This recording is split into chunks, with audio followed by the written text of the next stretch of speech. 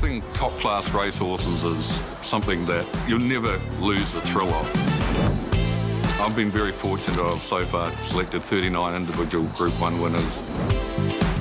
I would say 95% of the horses that I've trained, all are sourced for the stable. The stable's always had a good horse all the way through. I know we're equally proud of each other and also back each other to the hill. Coeurvolante is coming at her hard and got her. Was just one of those little athletes I found at the New Zealand sale. At $90,000, she is considered to be a bargain. She looks to have the world at her feet.